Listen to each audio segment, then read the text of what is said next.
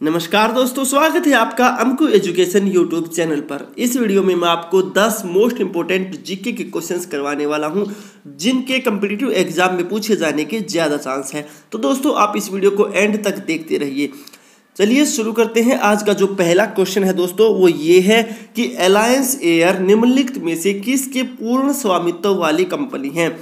A Indian Airlines B Sahara Airways C, Jet Airways, D, Air India. तो दोस्तों, इसका सही आंसर है डी, एयर इंडिया। जो अलायंस एयर है, वे एयर इंडिया के पूर्ण स्वामित्व वाली कंपनी है।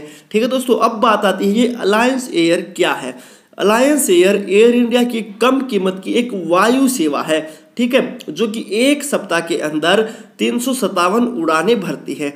इसकी स्थापना कब हुई थी? दोस्तों, अगर क्वेश्चन ये आता है कि अलायंस एयर की स्थापना कब हुई थी तो उन्नीस यानी कि 1996 के अंदर अलायंस एयर की स्थापना हुई थी। जो अलायंस एयर कंपनी है, दोस्तों, उसका क्या नारा है? उसका अगर नारा पूछा जाता है तो वो है कनेक्टिंग इंडिया ठीक है? ये इसका नारा है अलायंस एयर का कनेक्टिंग इंडिया इसका मुख्यालय कहाँ पर है, दोस्तों? अलायंस एयर का जो मुख्यालय है, वो दिल्ली के अंदर है। तो ये हो गया हमारा पहला क्वेश्चन अब हम चलते हैं दोस्तों अपने दूसरे क्वेश्चन की तरफ़, और वो ये है कि निजी क्षेत्र में देश का पहला अंतर्राष्ट्रीय हवाई अड्डा कहाँ निर्माणाधीन है? A Kochi B Guwahati C Mopa D Hyderabad. तो दोस्तों इसका सही आंसर है ए कोची में। जो निजी क्षेत्र में देश का पहला अंतर्राष्ट्रीय हवाई अड्डा कोची में निर्माणाधीन है। देखिए दोस्तों, यहाँ पर निजी क्षेत्र में पूछा गया है तो वो कोची के अंदर स्थित है। नेक्स्ट क्वेश्चन देखिए दोस्तों, भारत की अंतर्राष्ट्रीय विमान सेवा है, कौन सी है? सहारा एयर है, इंडियन एयरलाइंस है, एयर इंडिया है या फिर अलायंस एयर है? तो दोस्तों, इसका सही आंसर है सी, एयर इंडिया, भारत की अंतर्राष्ट्रीय विमान सेवा है।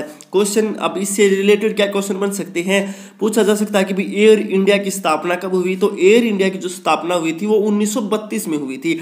1932 के अंदर एयर इंडिया की स्थापना हुई थी। किसके रूप में हुई थी? टाटा एयरलाइंस के रूप में जो एयर इंडिया है उसकी स्थापना हुई थी। इस कंपनी का क्या नारा है? जो एयर इंडिया कंपनी है, उसका नारा क्या है? जैसे कि अलायंस एयर का नारा था, connecting India.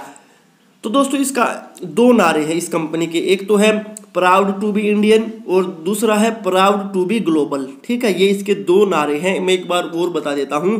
Proud to be Indian और proud to be global.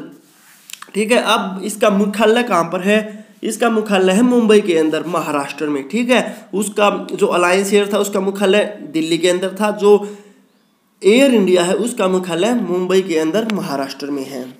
Next question देखिए दोस्तों, आज की वीडियो का फोर्थ क्वेश्चन है कि ग्रांड ट्रंक रोड किसने बनवाई? ए अकबर ने बी जहांगीर ने सी शाहजहां ने डी शेरशाह सूरी ने।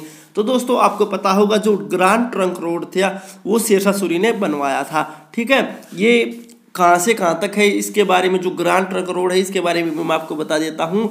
जो ग्रांड ट्रंक रोड है, वो हावड़ा के पश्चिम में स्थित बांग्लादेश के चटगांव से शुरू होता है और लाहौर, पाकिस्तान से होते हुए अफ़गानिस्तान में काबुल तक जाता है। यह मार्ग मौर्य साम्राज्य के दौरान अस्तित्व में आया था। अगर हम इसके विस्तार की बात करें तो ये 2500 किलोमीटर, यानी कि ढाई हज़ार किलोमीटर इसका विस्तार है। अब हम चलते हैं अपने नेक्स्ट क्वेश्चन की तरफ़, और वो ये है कि स्वर्णिम चतुर्भुज परियोजना किससे संबंधित है? ए, सड़क परिवहन, बी, वायु परिवहन, सी, जल परिवहन, डी, रेल परिवहन। ये चार ऑप्शन दिए गए हैं तो इसका सही आंसर है दोस्तों, ए, सड़क परिवहन। जो स्वर्णिम चतुर्भुज परियोजना है दोस्तों, वो सड़क परिवहन से संबंधित है।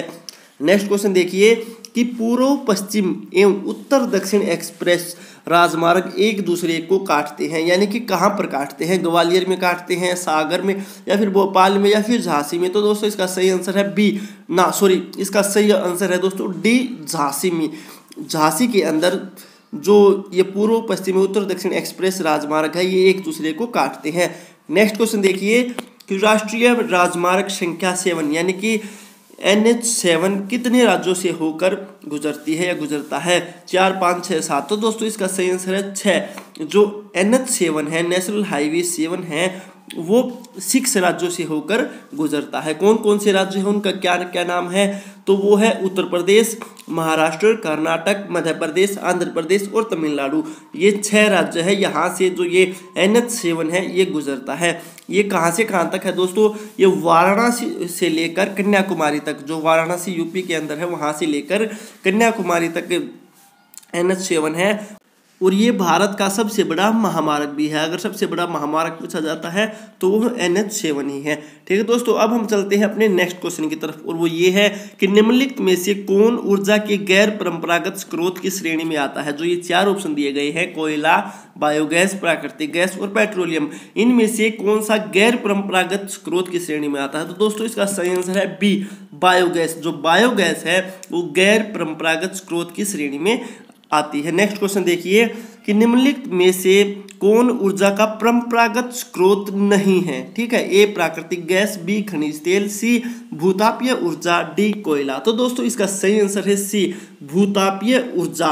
वो ऊर्जा का परंपरागत स्रोत नहीं है। नेक्स्ट क्वेश्चन देखिए, आज की वीडियो का आखिरी क्वेश्चन है दोस्तों, वो ये है कि निम्नलिखित में से किस प्रकार की ऊर्जा से सबसे कम वायु प्रदूषण होता है? ए जलीय ऊर्जा बी तापीय ऊर्जा सी नाभिकीय ऊर्जा डी सौर ऊर्जा। तो दोस्तों, इसका सही आंसर है सी सॉरी डी सौर ऊर्जा। जो सौर ऊर्जा है, उससे सबसे कम वायु प्रदूषण होता है। तो आज की वीडियो में मैंने आपको 10 मोस्ट इंपोर्टेंट जीके के क्वेश्चंस करवाए। इनमें से ही आपको कम्पिटेटिव एग्ज़ाम में क्वेश्चन पूछे जा सकते हैं। तो दोस्तों, ये वीडियो आपको कैसी लगी कमेंट करके ज़रूर बताना है। अगर पसंद आई हो तो लाइक ज़रूर करना है और ऐसे ही जीके से रिलेटेड वीडियो पाने के लिए एम एजुकेशन चैनल को सब्सक्राइब ज़रूर करें। धन्यवाद दोस्तों, मिलते हैं अगली वीडियो में एक नए टॉपिक के साथ।